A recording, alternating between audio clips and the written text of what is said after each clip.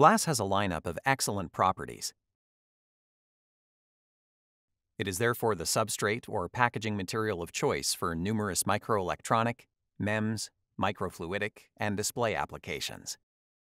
But glass has also a fundamental limitation. It is an amorphous material and therefore cannot be etched anisotropically.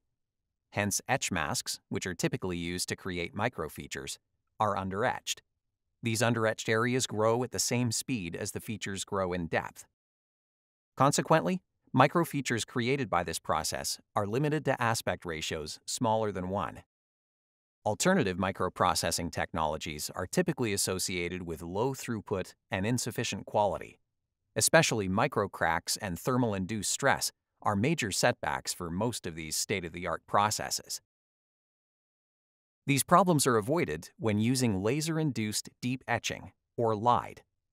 LIDE is a two-step manufacturing process for particularly deep features in glass.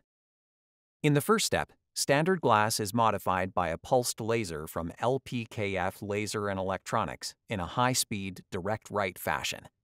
A single laser pulse is sufficient to modify a thin glass from one side to the other. Several thousands of pulses can be produced every second.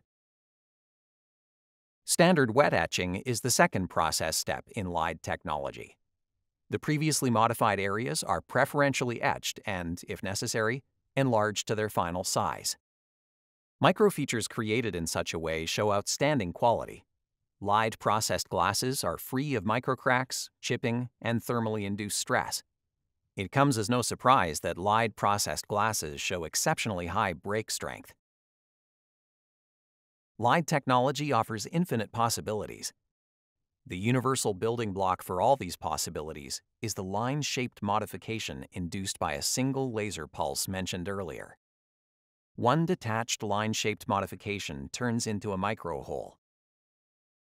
A series of these modifications along a toolpath turns into a microcut. And an array of modifications, which intentionally do not penetrate the full glass substrate, turn into a pocket. Low cost and its versatility make LIDE a new base technology for electronics, microfluidics, display, and microsystems.